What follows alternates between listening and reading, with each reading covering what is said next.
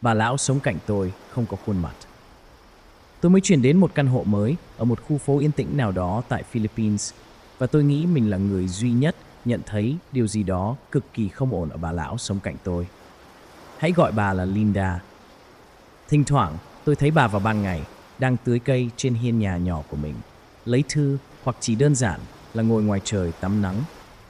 Theo những gì tôi nghe được, bà là một y tá đã nghỉ hưu, từng làm việc tại một trong những bệnh viện tâm thần.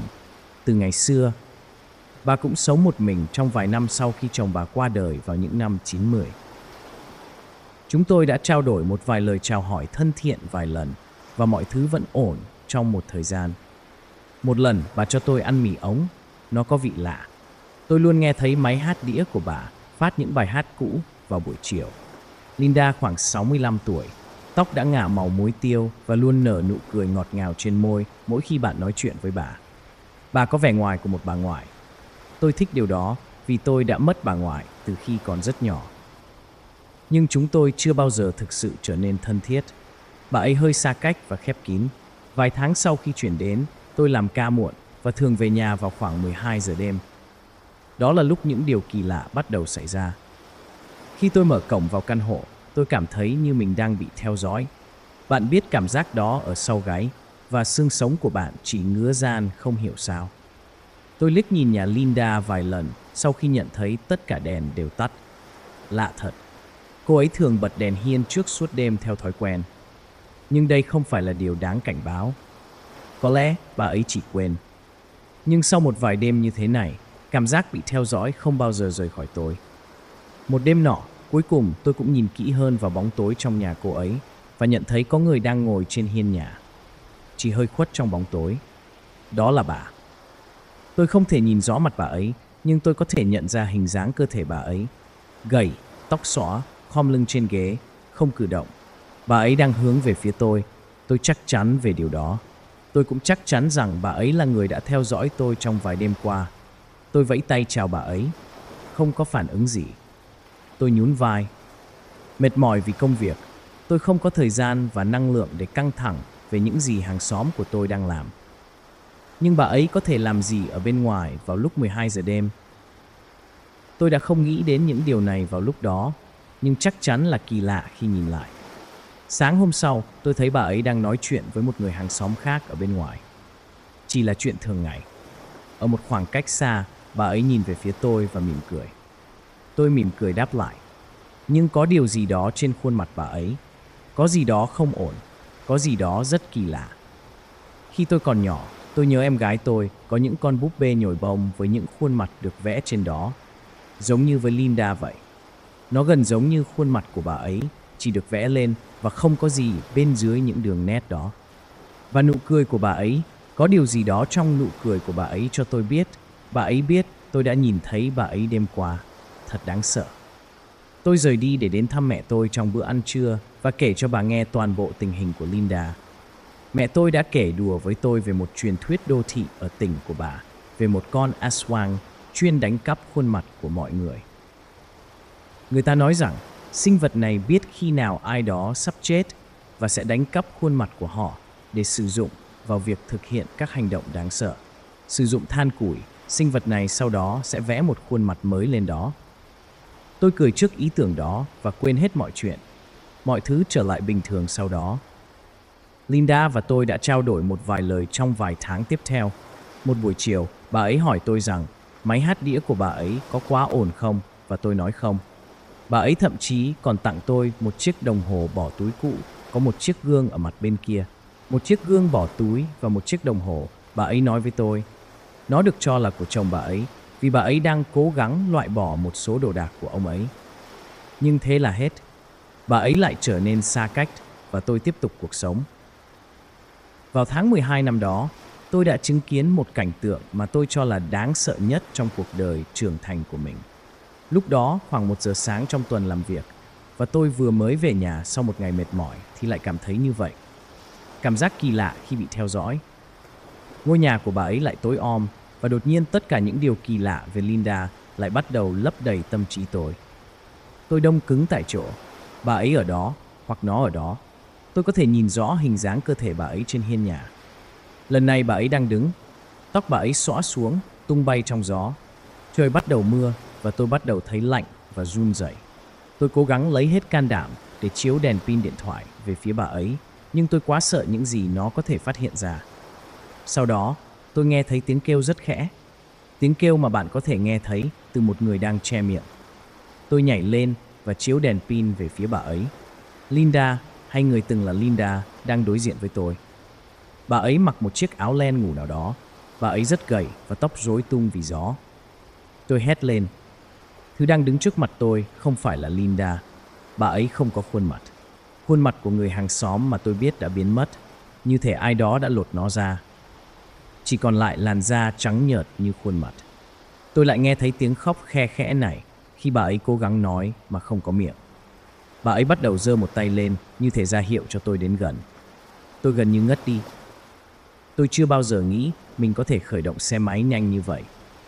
Nhưng tôi đã phóng xe ra khỏi đó và lao vào đêm mưa. Tôi không bao giờ kể với ai về chuyện xảy ra đêm đó và tôi đã chuyển ra khỏi căn hộ vào tuần sau. Mặc xác tiền đặt cọc của tôi, tôi cũng không bao giờ gặp lại Linda nữa. Tôi đã cố gắng hết sức để chôn vùi ký ức đó trong một thời gian dài. Tất cả những điều này xảy ra cách đây khoảng 20 năm và tôi chưa bao giờ kể với ai cho đến tận bây giờ. Tôi thực sự không biết chuyện gì đã xảy ra với Linda, người hàng xóm cũ của tôi, nhưng đôi khi tôi hỏi thăm xung quanh, một số người nói rằng bà ấy đã qua đời vào năm sau. Một số người nói rằng bà ấy chuyển đến sống với anh trai mình, nhưng để lại tất cả đồ đạc của mình, thậm chí cả máy hát đĩa. Giống như bà ấy vừa biến mất. Nhưng suốt thời gian đó, tôi vẫn giữ chiếc đồng hồ gương bỏ túi mà bà tặng. Đôi khi tôi nhìn mình trong chiếc gương nhỏ đó và nghĩ tại sao khuôn mặt tôi đôi khi trông như được tô vẽ vậy.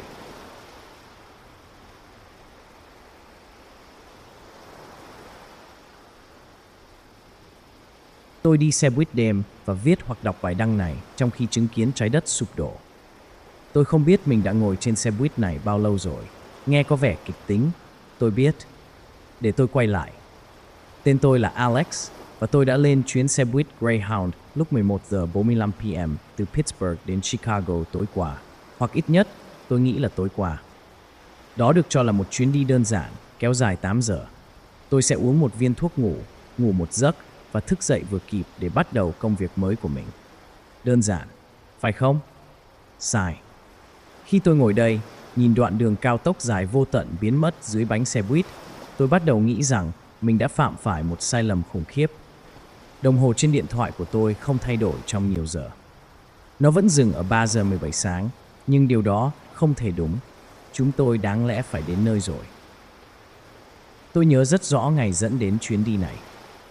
Gánh nặng của lần nghỉ việc gần đây vẫn còn đè nặng trên vai tôi. Vị đắng của một mối quan hệ kết thúc quá sớm vẫn còn trên đầu lưỡi tôi. Công việc này ở Chicago được cho là khởi đầu mới của tôi, cơ hội để tôi bỏ lại sau lưng đống đổ nát của cuộc đời mình ở Pittsburgh. Bây giờ, khi tôi nhìn quang cảnh xa lạ trôi qua, tôi tự hỏi liệu mình có phạm phải sai lầm nghiêm trọng trong phán đoán hay không. Trạm xe buýt gần như trống rỗng khi tôi đến, chỉ có một vài du khách mệt mỏi, rải rác xung quanh. Tôi nhớ những ánh đèn huỳnh quang nhấp nháy, tiếng bánh xe cót két của vali của tôi vang vọng trong không gian rộng lớn. Vẻ mặt buồn chán của nhân viên quầy bán vé khi cô ấy đưa cho tôi tấm vé. Tất cả đều rất tầm thường, rất bình thường. Làm sao tôi lại đến đây? Chiếc máy bán hàng tự động ở góc thu hút sự chú ý của tôi. Tiếng vo ve nhẹ nhàng của nó dường như đang gọi tôi, hứa hẹn một hương vị bình thường cuối cùng trước chuyến đi của tôi. Tôi mua một thanh kẹo, lớp vỏ giấy sột soạt trong nhà ga yên tĩnh. Sô-cô-la đã cũ, nhưng tôi vẫn thưởng thức nó. Tôi không biết rằng đó sẽ là bữa ăn cuối cùng của tôi trong... Ừm, tôi không biết là bao lâu nữa. Người lái xe một người đàn ông cao lớn với khuôn mặt gầy gò và đôi mắt trũng sâu, chỉ liếc nhìn vé của tôi trước khi vẫy tay chào tôi.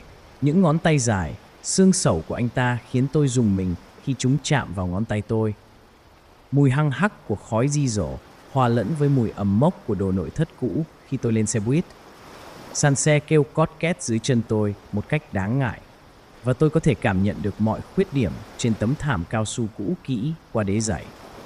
Khi tôi đi đến chỗ ngồi của mình, kim loại lạnh lẽo của tay vịn khiến tôi lạnh buốt. tôi tìm được một chỗ ngồi gần phía sau, tránh xa một số ít hành khách khác. Có một bà lão đang đan thứ gì đó, trông không giống khăn quàng cổ, mà giống một mớ len rối hơn. Những chiếc kim đan của bà kêu lách cách theo nhịp điệu, một sự tương phản nhẹ nhàng với những suy nghĩ đang chạy đua của tôi.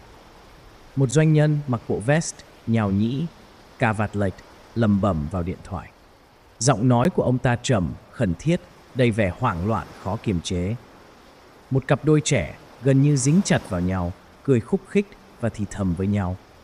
Niềm hạnh phúc của họ có vẻ lạc lõng trong bầu không khí u ám của chuyến xe buýt đêm muộn. Và ở ngay phía trước, một bóng người đội mũ trùm đầu không hề di chuyển kể từ khi chúng tôi rời Pittsburgh. Tôi uống viên thuốc ngủ, đeo tai nghe vào và dựa vào cửa sổ. Điều cuối cùng tôi nhớ trước khi chìm vào giấc ngủ là ánh đèn thành phố đang mờ dần, nhường chỗ cho bóng tối của vùng nông thôn. Tiếng động cơ xe buýt nhẹ nhàng du tôi vào giấc ngủ chập chờn, tràn ngập những giấc mơ kỳ lạ về những con đường quanh co bất tận và những bóng người mờ ảo. Tôi giật mình tỉnh giấc, miệng khô khốc và có vị của giấc ngủ cũ kỹ. Tiếng ầm ầm nhịp nhàng của động cơ xe buýt đã thay đổi, giờ đây vang lên với một chất lượng bất an, gần như hữu cơ. Không khí có cảm giác đặc quánh và ngột ngạt, mang theo một mùi kim loại thoang thoảng khiến lưỡi tôi cong lại. Khi tôi chớp mắt để xua đi sự mờ mịt, bóng tối bên ngoài dường như ép vào cửa sổ như một vật thể sống. Những tua cuốn đen kịt của nó để lại những vết bẩn trên kính. Mọi thứ đều sai. Bầu trời bên ngoài là một khoảng không đen kịt, không có sao, không có trăng, chỉ có bóng tối. Và quang cảnh không phải là vùng Trung Tây mà tôi mong đợi. Đôi khi tôi nhìn thấy những khu rừng rậm rạp với những cái cây dường như uốn cong theo những cách không thể. Những lần khác, đó là vùng đất hoang cằn cỗi trải dài đến tận chân trời. Nhưng phần kỳ lạ nhất là gì? Chúng tôi không dừng lại. Không một lần nào. Không có khu vực nghỉ ngơi, không có xe cộ nào khác trên đường. Chỉ có chúng tôi, chiếc xe buýt này, và quang cảnh luôn thay đổi, nhưng bằng cách nào đó vẫn luôn giống nhau, đang lướt qua bên ngoài. Tôi cố hỏi những hành khách khác xem họ có nhận thấy điều gì lạ không, nhưng họ chỉ nhìn tôi chằm chằm một cách vô hồn. Sợi len đan của bà lão đã dài ra che kín toàn bộ chỗ ngồi của bà. Khi tôi đi ngang qua, tôi thề là tôi thấy một trong những tua len vươn về phía tôi, rụt lại ngay khi tôi nhận ra. Tiếng len canh của những chiếc kim đan của bà dường như vang vọng trong hộp sọ của tôi. Mỗi lần va chạm đều khiến một cơn đau nhói chạy dọc sống lưng tôi. Khi tôi đến gần, mùi hăng hắc của những viên long não tấn công vào lỗ mũi tôi, xen lẫn thứ gì đó ngọt ngào và thối giữa đến phát ngán. Sợi len quằn quại trên đùi bà, và tôi thể là tôi cảm thấy có thứ gì đó chạm vào mắt cá chân của mình, mềm mại và uyển chuyển. Tiếng len keng của những chiếc kim đan của bà đã trở thành một nhịp điệu gần như thôi miên, giống như một mã Morse của người ngoài hành tinh. Xin lỗi, tôi nói, giọng tôi nghe lạ lẫm trong sự yên tĩnh không bình thường của xe buýt. Bạn có nhận thấy điều gì kỳ lạ trong chuyến đi của chúng ta không? Cô ấy nhìn lên tôi, đôi mắt cô ấy u ám và không tập trung. Trong một khoảnh khắc, tôi nghĩ rằng tôi thấy một cái gì đó di chuyển phía sau họ, giống như những cái bóng bơi trong nước đục. Rồi cô ấy mỉm cười. Hàm răng của cô ấy quá trắng, quá hoàn hảo. Lạ nhỉ? Không đâu, em yêu, mọi thứ đều như bình thường. Chúng ta đều ở nơi chúng ta cần đến. Tiếng lẩm bẩm của doanh nhân đã trở thành một thứ hỗn độn khó hiểu. Nhưng khi tôi đi ngang qua chỗ ngồi của anh ta, trong một khoảnh khắc, chỉ một tích tắc, lời nói của anh ta trở nên rõ ràng như pha lê. Hình học không đúng, anh nói, đôi mắt phản chiếu những màu sắc không thể tưởng tượng được. Chúng ta không ở nơi chúng ta nên ở. Tôi dừng lại, tim đập thình thịch. Anh có ý gì vậy? Tôi hỏi. Nhưng anh ta lại tiếp tục lẩm bẩm vô nghĩa, nhìn chằm chằm ra ngoài cửa sổ vào quang cảnh luôn thay đổi.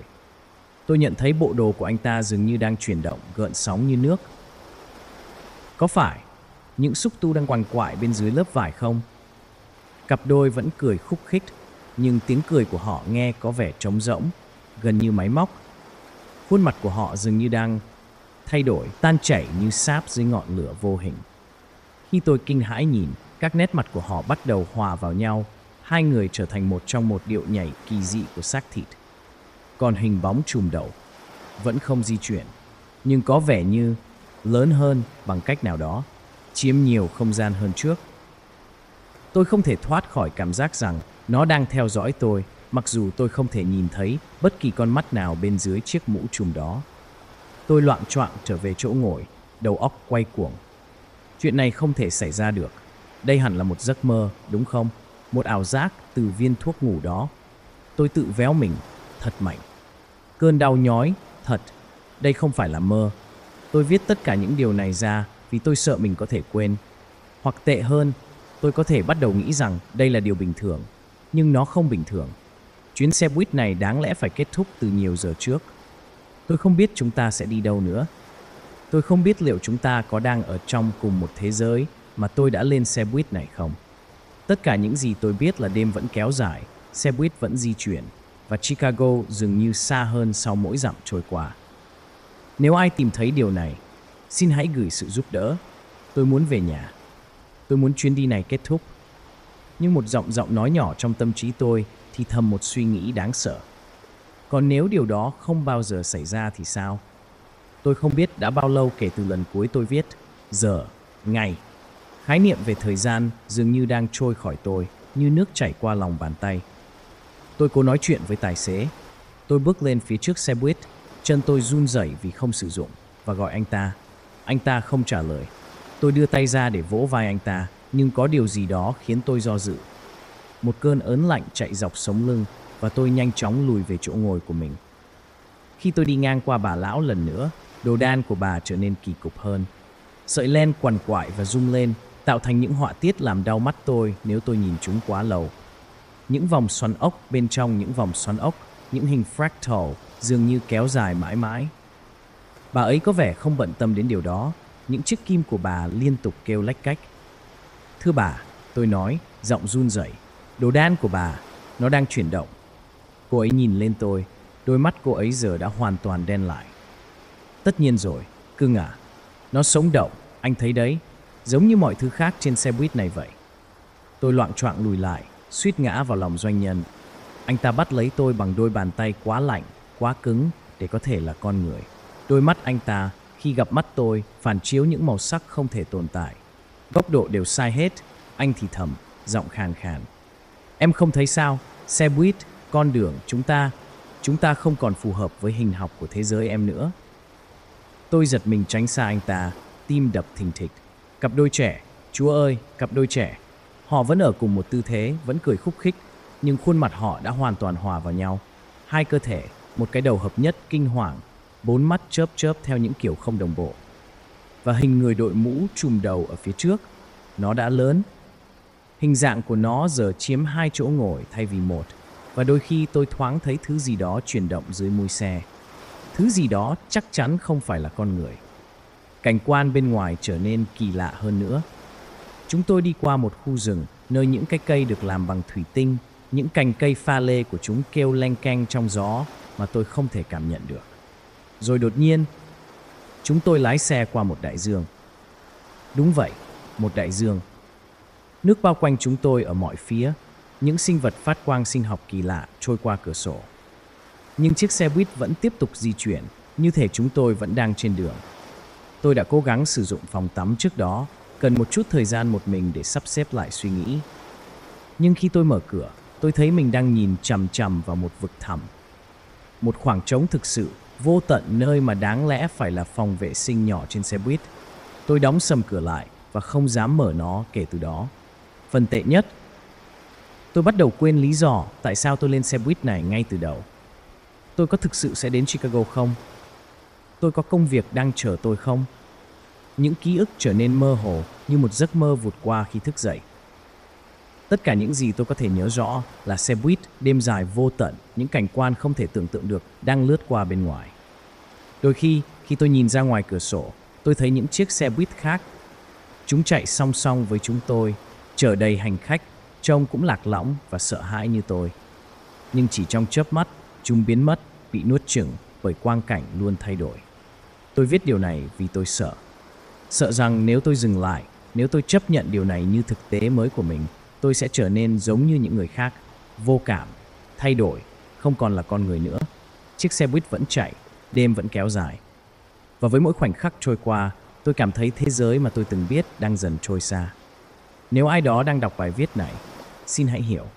Đây không chỉ là chuyến đi xe buýt nữa, đây là điều gì đó khác, điều gì đó đáng sợ. Và tôi không biết làm thế nào để dừng lại. Tôi không biết điều gì đã thúc đẩy tôi làm điều đó. Có thể là sự tuyệt vọng, có thể là sự điên rồ.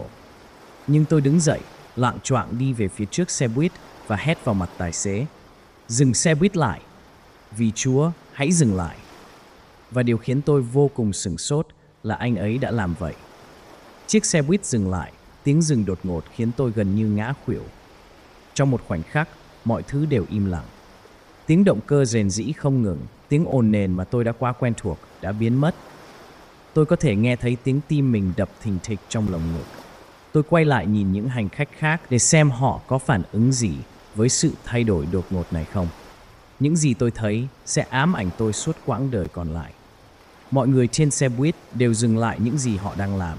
Những chiếc kim của bà lão treo lơ lửng giữa không trung. Những xúc tu quằn quại của doanh nhân đông cứng giữa những gợn sóng. Khuôn mặt của cặp đôi tan chảy đã đông cứng lại thành những chiếc mặt nạ kỳ quái. Và rồi, tất cả bọn họ đồng loạt quay lại nhìn tôi. Đôi mắt của họ mở to, mở to không thể tin được, lồi ra khỏi hốc mắt. Miệng họ há hốc hoàn hảo trong sự ngạc nhiên. Ngay cả hình bóng đội mũ trùm đầu ở phía trước cũng quay lại, mũ trùm đầu của anh ta rơi xuống để lộ. Không có gì.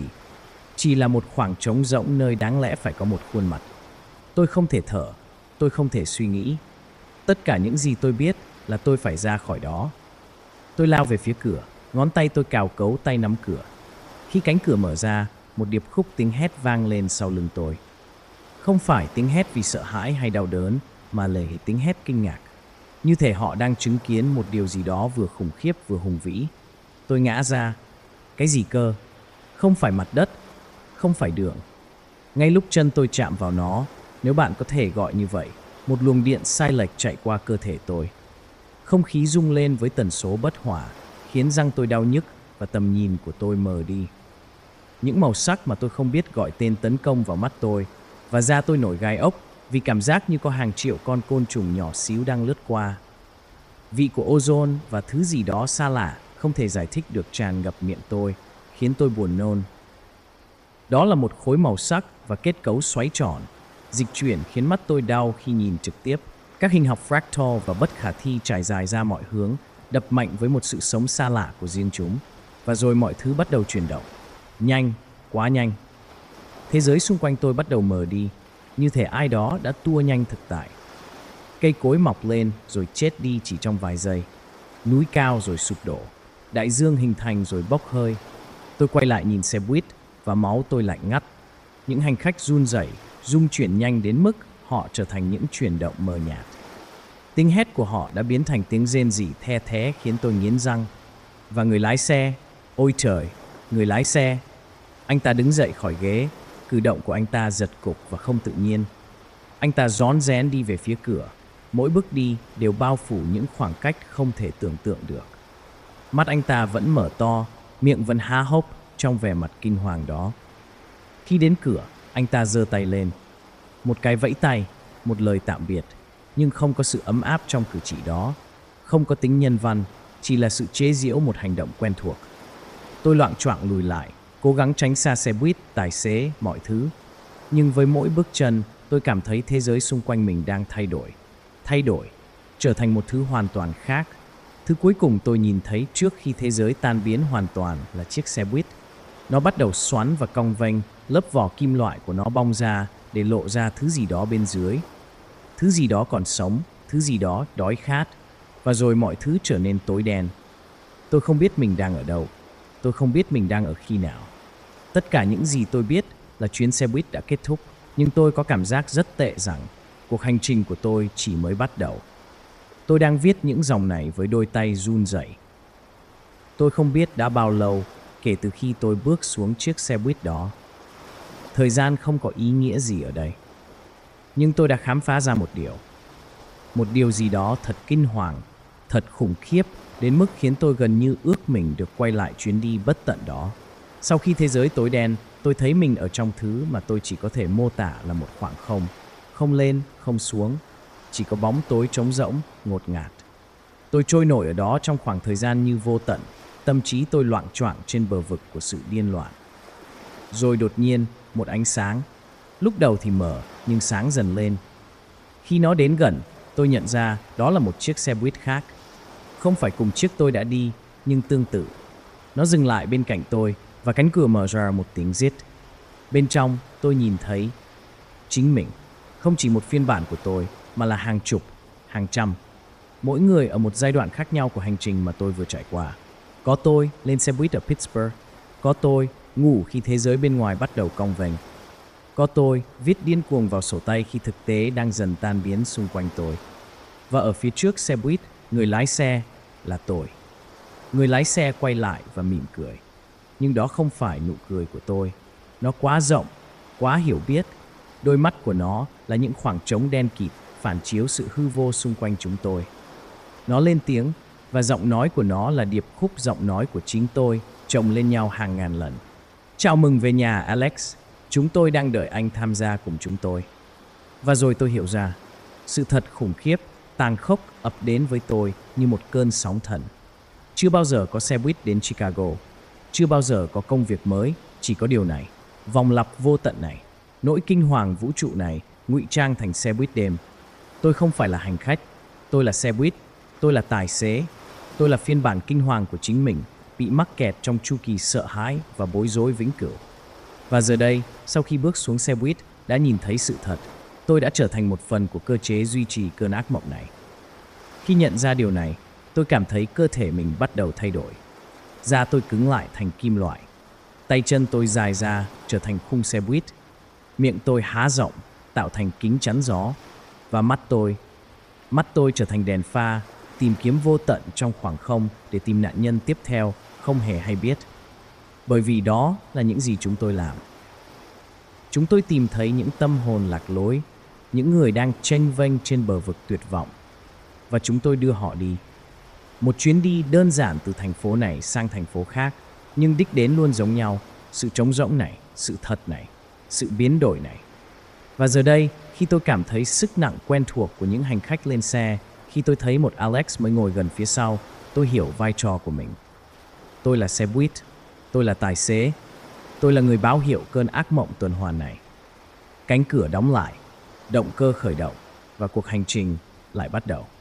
Nếu bạn đang đọc bài viết này, nếu bạn tìm thấy thông điệp này bằng cách nào đó, xin vui lòng. Đừng lên xe buýt đêm. Bất kể bạn đang đi đâu, bất kể điều đó có vẻ quan trọng đến đâu thì cũng không đáng. Bởi vì chuyến đi không bao giờ kết thúc, đêm không bao giờ kết thúc. Và nỗi kinh hoàng khi biết mình đã trở thành gì cũng vậy. Tôi không biết giải thích điều này thế nào. Tay tôi run rẩy khi tôi gõ những dòng này trên điện thoại. Không, điều đó không đúng. Tôi nắm chặt vô lăng, đốt ngón tay trắng bệch khi tôi nhìn mình gõ trên điện thoại. Nhưng tôi cũng đang đứng bên ngoài xe buýt, theo dõi cả hai cảnh này diễn ra. Tôi là một, tôi là ba, tôi ở khắp mọi nơi và không ở đâu cả. Đây không còn chỉ là một câu chuyện nữa. Đây là một lời thú nhận, một lời cảnh báo và một tiếng kêu cứu tuyệt vọng. Tôi vừa nhận ra một điều kinh hoàng. Tôi có thể thấy mình đang viết bài đăng này. Không, không chỉ thấy, tôi đang viết bài đăng này từ ba góc nhìn khác nhau, tất cả cùng một lúc. Tôi là hành khách đang điên cuồng gõ trên điện thoại. Tôi là tài xế đang theo dõi hành khách viết với nỗi sợ hãi sâu sắc. Và tôi ở bên ngoài, quan sát tất cả, hiểu được chu kỳ kinh hoàng mà chúng ta đang mắc kẹt. Chiếc xe buýt vẫn chạy, đêm vẫn kéo dài. Nhưng không chỉ là một đêm, đúng không? Là mọi đêm, không phải đêm. Đó là một sự vĩnh hằng được nén lại trong một khoảnh khắc. Đợi đã, có gì đó đang thay đổi. Xe buýt đang chậm lại. Không, không đúng. Thời gian đang chậm lại. Tôi có thể thấy bạn. Đúng vậy, bạn đang đọc bài này ngay lúc này. Làm sao điều này có thể xảy ra? Bạn có thật không? Tôi có thật không? Tôi có từng là Alex không? Hay đó chỉ là cái tên tôi nghĩ mình có? Hãy nhìn xung quanh bạn. Thực sự nhìn. Mọi thứ có như mong đợi không? Bạn có chắc là bạn đang đọc bài đăng này chứ không phải viết nó không? Hãy nghĩ lại. Bạn bắt đầu đọc bài này khi nào? Vài phút trước, một giờ, hôm qua? Hay bạn vẫn luôn đọc bài này bị mắc kẹt trong một vòng lặp vô tận giống như chúng ta? Bạn có cảm nhận được không? Sự sai lệch tinh tế đang len lỏi vào rìa tầm nhìn của bạn. Cách các từ trên màn hình của bạn dường như thay đổi khi bạn không nhìn trực tiếp vào chúng. Bây giờ bạn là một phần của điều này. Hoặc có thể bạn đã từng là. Có thể bạn là người bắt đầu điều này. Có thể bạn là người có thể kết thúc nó. Hãy cố nhớ lại, tên bạn là gì trước khi bạn bắt đầu đọc bài viết này.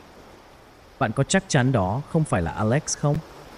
Bạn có chắc chắn rằng bạn không đang ở trên xe buýt ngay lúc này với điện thoại hoặc máy tính sách tay trên tay, màn đêm bất tận trải dài trước mắt bạn không? Đừng nhìn ra cửa sổ, hay là nhìn.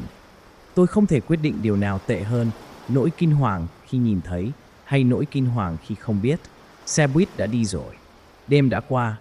Chúng ta ở khắp mọi nơi và không ở đâu cả. Nhìn thời gian trôi qua trước mắt. Những ngôi sao đang lướt qua bầu trời, để lại những vệt lửa trên đường đi của chúng. Mặt trời và mặt trăng đang quay quanh trái đất trong một điệu nhảy chóng mặt. Ngày và đêm mờ dần thành một tia sáng nhấp nháy, nền văn minh trỗi dậy và sụp đổ trong chớp mắt. Khi chúng lóe lên trước mắt tôi, các giác quan của tôi bị choáng ngợp. Không khí tràn ngập tiếng gầm rú như sấm của các đế chế sụp đổ, khói cay nồng của những thành phố đang cháy và mùi kim loại của máu đổ. Tôi có thể nếm được bụi của những thời đại đã lãng quên trên lưỡi mình, cảm thấy sức nặng của hàng triệu năm đè xuống ngực mình. Vũ điệu chóng mặt của mặt trời và mặt trăng để lại những hình ảnh nhấp nháy in sâu vào võng mạc của tôi. Và cuộc diễu hành không ngừng nghỉ của thời gian dường như rung động trong chính xương tủy của tôi. Chúng ta thấy nhân loại bò ra khỏi hang động, xây dựng những đế chế hùng mạnh, vươn tới những vì sao. Chúng ta thấy họ tự xé nát mình, xây dựng lại, vươn cao hơn. Các thành phố trải dài khắp trái đất như những mạng nhện lấp lánh rồi sụp đổ thành bụi. Rừng phát triển và chết đi trong nhịp tim. Đại dương dâng lên và hạ xuống như hơi thở của một người khổng lồ đang ngủ. Nhân loại tiến hóa thay đổi, trở thành thứ gì đó khác.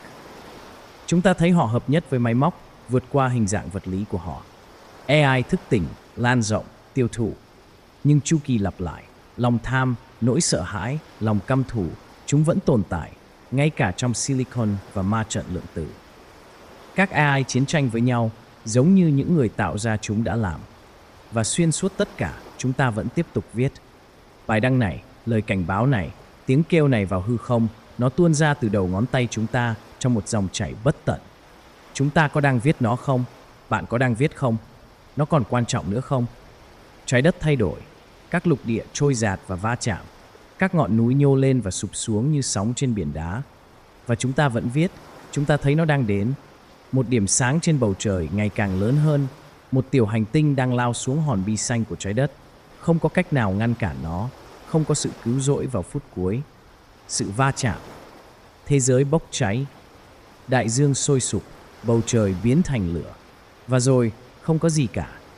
Trái đất đã biến mất, mặt trời đã biến mất, thiên hà quay và chết trong khoảng thời gian của một ý nghĩ. Chúng ta trôi nổi trong hư không, vô hình, vô thời gian. Nhưng bằng cách nào đó, chúng ta vẫn ở đây, vẫn nhận thức, vẫn viết.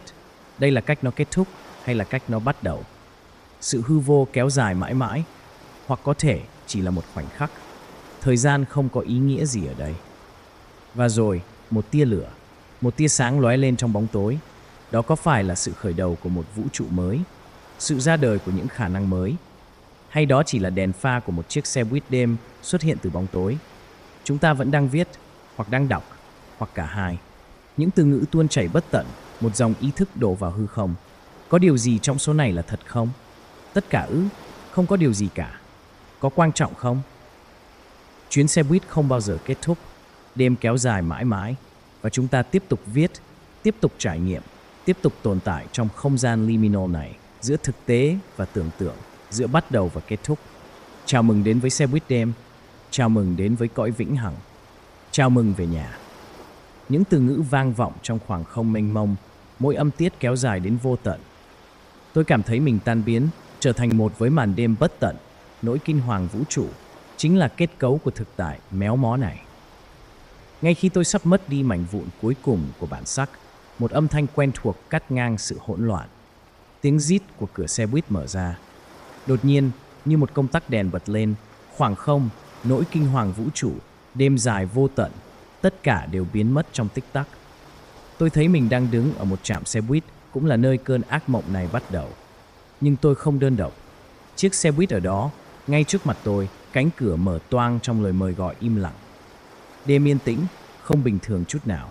Không có gió, không có tiếng xe cộ ở xa, chỉ có sự tĩnh lặng. Chiếc vali của tôi vẫn nằm cạnh tôi, y như lúc tôi rời khỏi nó. Chiếc xe buýt chạy không tải, tiếng động cơ rền rĩ, gần như là vô thức mà tôi cảm thấy rõ ràng hơn là nghe thấy. Người lái xe ngồi bất động, khuôn mặt bị bóng tối che khuất. Anh ta không nói, không di chuyển, chỉ chờ đợi. Tôi đứng im, tim đập thình thịch trong lồng ngực. Mọi thứ trông bình thường, cảm thấy bình thường. Nhưng giờ tôi đã hiểu rõ hơn, tôi hiểu cái giá của chuyến đi này. Thời gian dường như kéo dài, có thể là vài phút, có thể là vài giờ. Chiếc xe buýt không di chuyển. Người lái xe không nói gì, như thể cả thế giới đang nín thở, chờ đợi quyết định của tôi. Tâm trí tôi chạy đua, tua lại những nỗi kinh hoàng tôi đã trải qua, những sự thật vũ trụ tôi đã thoáng thấy. Chiếc xe buýt hứa hẹn một lối thoát, một sự trở lại bình thường. Nhưng tôi biết lời hứa đó là một lời nói dối. Cuối cùng, sau khoảng thời gian tưởng như vô tận, tôi đã đưa ra lựa chọn của mình. Không, tôi nói, giọng tôi chỉ hơn tiếng thì thầm một chút. Không, tôi không nghĩ là tôi sẽ làm vậy. Tôi cầm lấy vali và quay đi, bước về phía ánh đèn thành phố. Với mỗi bước chân, tôi cảm thấy gánh nặng được chút khỏi vai. Công việc ở Chicago, sự khởi đầu mới, không còn quan trọng nữa. Điều quan trọng là tôi đã ở đây, bây giờ tự mình kiểm soát hành trình. Khi tôi đi, tôi nghe thấy tiếng cửa xe buýt đóng lại sau lưng, tiếng động cơ gầm rú chuẩn bị khởi hành. Sự tò mò đã thắng thế và tôi quay lại nhìn xe rời đi. Nhưng xe buýt đã biến mất. Đường phố vắng tanh như thể nó chưa từng tồn tại ở đó. Tôi lắc đầu, cố gắng hiểu mọi chuyện. Đó là lúc tôi nhận ra điều gì đó kỳ lạ về chiếc vali của mình. Nó nặng hơn trước, tôi đặt nó xuống và mở khóa, tay run rẩy. Bên trong, nằm giữa đống quần áo của tôi, là một chiếc hộp hình trái tim mà tôi chưa từng thấy trước đây. Tôi mở nó ra bằng những ngón tay run rẩy. Hai màn hình nhấp nháy sáng lên, mỗi màn hình ở một bên. Trên một màn hình, tôi thấy bà lão, sợi len của bà quằn quại một cách không thể tin được. Trên màn hình kia là một doanh nhân, bộ đồ của ông ta gợn sóng với những xúc tu ẩn giấu. Họ mỉm cười với tôi, đôi mắt họ phản chiếu những màu sắc không thể nào tưởng tượng được. Tôi đóng sầm chiếc hộp lại, hơi thở dồn dập. Đây là sự thật. Tất cả đều là sự thật. Tôi đã học được điều gì đó trong chuyến đi đêm bất khả thi đó. Đôi khi, hành trình mà bạn nghĩ mình cần không phải là hành trình bạn nên thực hiện. Đôi khi, điều dũng cảm nhất bạn có thể làm là dừng lại, quay lại và tự tạo ra con đường của riêng mình, ngay cả khi điều đó có nghĩa là phải bước đi một mình trong bóng tối. Nếu bạn đang nghe bài này, hãy nhớ rằng không phải mọi cơ hội đều đáng nắm bắt. Hãy tin vào trực giác của bạn. Và nếu bạn thấy mình đang ở trạm xe buýt vào đêm khuya, phải đối mặt với một lựa chọn có vẻ quá tốt để trở thành sự thật. Hãy cân nhắc đi bộ thay vì đi bộ. Rốt cuộc, bạn không bao giờ biết chuyến xe buýt đêm đó thực sự sẽ đi đâu, hoặc nó có thể để lại những món quà lưu niệm gì.